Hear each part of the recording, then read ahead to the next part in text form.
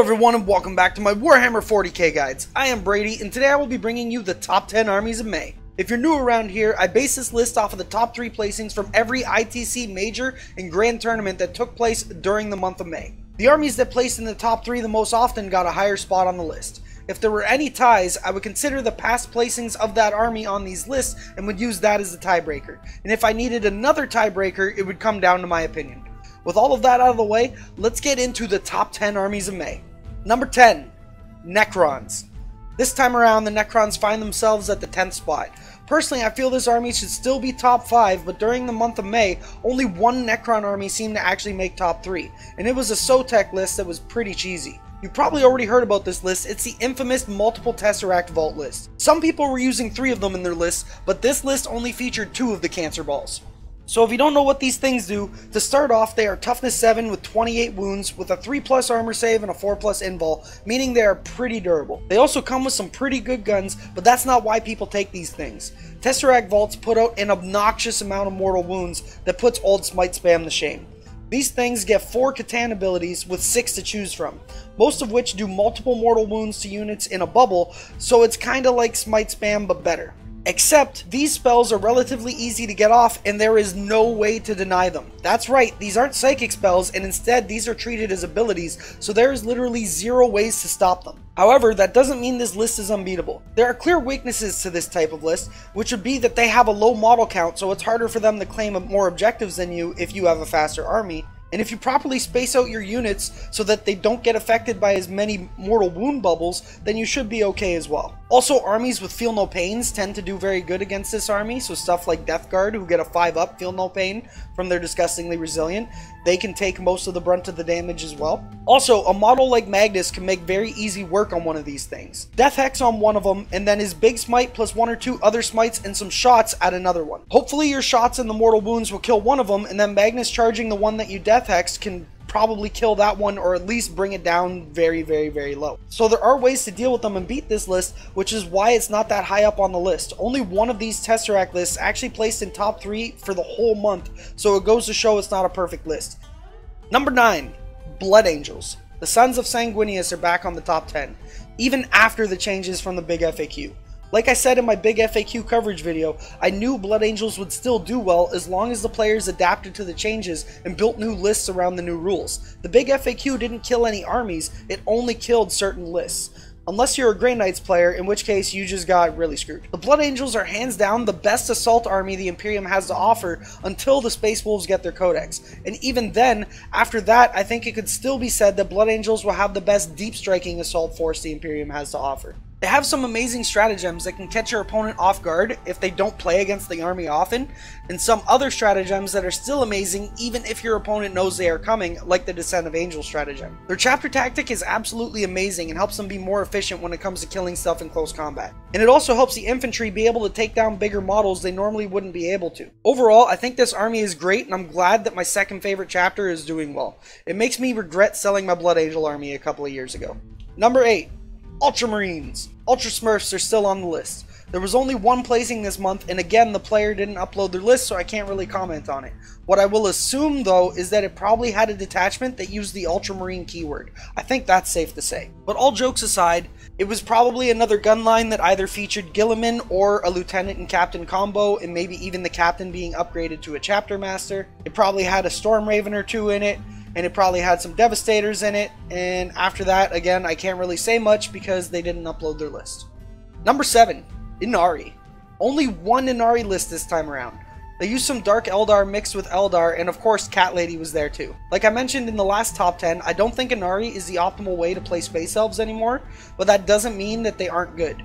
I just don't think that they are the go-to end-all be-all army that they were before the nerfs. Personally, I feel like playing Craftworlds and Drukhari as their own factions is better, and I have been saying it for a while. And if you're going to play them together, then just play them as Aeldari instead of Ynnari. I think it's more optimal that way because the traits that the Space Elves have are really good.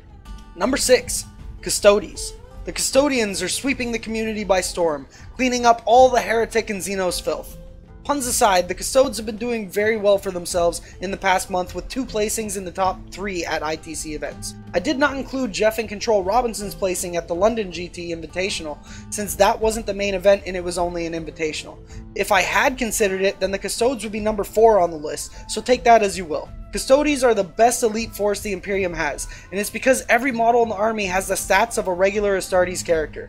They all have 2 plus armor saves with a 4 plus invulnerable save, they all have a weapon and ballistic skill of 2 plus, and they all have multiple wounds per model. The army is always accompanied by the Astra Militarum command point battery, which the Custodes really need since they don't start the game with many command points and their stratagems are very expensive. Both lists were very bike heavy and put around 1500 points of their 2000 point list into jet bikes and the jet bike captain, with the rest of the list being Astra Militarum. Number 5.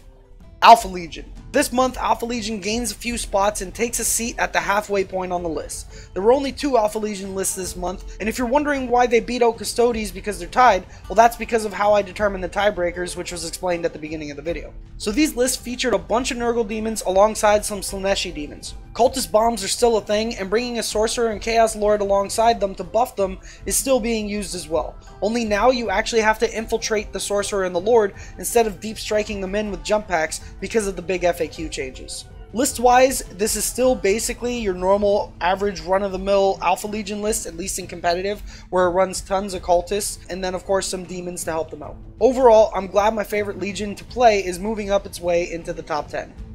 Number 4. Craft Worlds. Eldar takes their spot just outside the top 3 this month. All of the lists featured allies, which were usually Dark Eldar, but focused a lot on the Eldar Psykers and Wave Serpents. The other lists also featured Dark Eldar, but had some Hemlocks and Rangers. The craft world used in both lists was Alaitoc, which I personally think is the best choice. Now let's get into the top 3 armies of May. Number 3. Tau. Are back in form and take their place as the third best army for the month of May.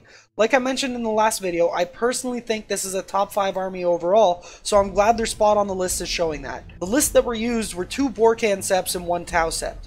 The units used were usually Fire Warriors with some commanders and of course some drones. And in one of the other lists, they actually used three Riptides, which made me happy since that's my favorite unit in the whole army. I used to watch Gundam Wing when I was young, and these suits really remind me a lot of that show. Overall, I'm glad the fish people are claiming their rightful spot on the top 5, and I think they will stick around for a while. Number 2. Astra Militarum. The Imperial Guard takes up the second spot this time around. There were five lists that topped the events this month, with one being Cadian and the other four being Catachan. So I guess now we can start saying that Catachan seems to be the best regiment, at least for now. Personally, I still think I prefer Cadia, but to each their own. Every list used three Hellhounds, which are tanks that have some really strong flamers on them, and with the Catachan rule, they get to re-roll the number of hits, making them really strong. They also explode very easily, so the idea is to drive them up into the enemy's face and flame some stuff to death, and then explode in their lines and do even more damage. Basilisks were also used, and of course, a ton of mortars. People don't think too much about it either, but the infantry are pretty damn good in close combat as well since they are strength 4. So arming your sergeant with something like a power sword isn't a bad idea if you're going to be moving up the board.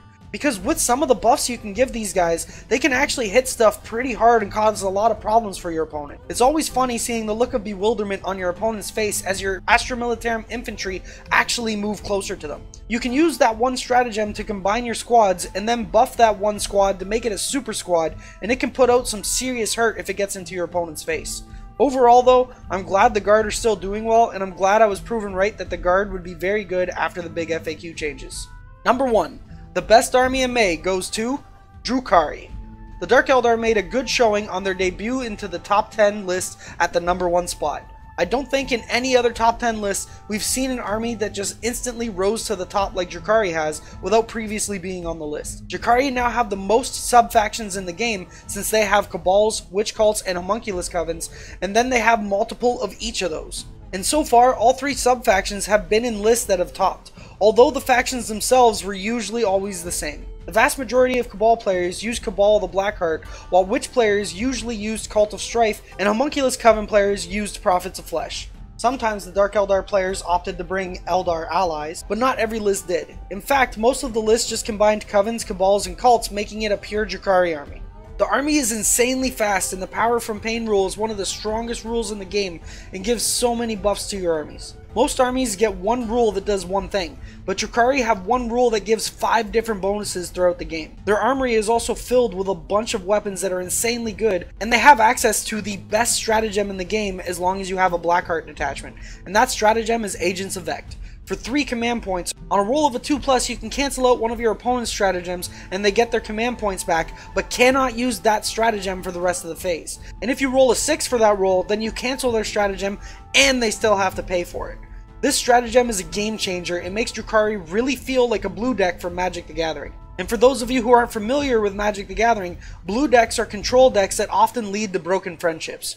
Overall, I think we are going to see this army placed well on this list for the foreseeable future, and I can easily say that I think Dark Eldar are probably the strongest army in the game right now.